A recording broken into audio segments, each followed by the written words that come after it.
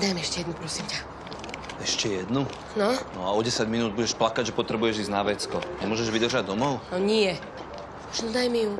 To fakt ešte? Áno. A prečo som si kúpila toľko vody? Asi, že som smedná, nie?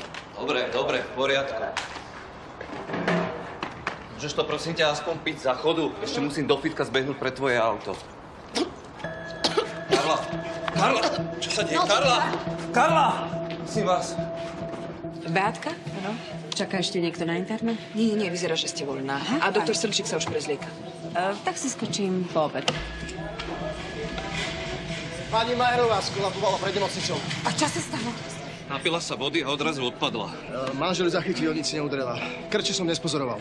Čo máme? Uh, moja pacientka z rána, pred pár minútami som ju prepustila, bola úplne v poriadku. Ja, ja nechápem, čo sa stalo. Tak asi nebola úplne v poriadku. Kontrolné CT hlavy. Moment, moment, tam nesmíte. Počkajte, ale ja som jej manžel. A ja som tu vrchná, musíte počkať tam. Tak mi povedzte, prečo ste ju lepšie nevyšetrili. Poprosím, CT hlavy pripraviť. Sila toto. Ďakujem pekne. CT máte voľné. Idete? Áno, ďakujem. Už zajtra?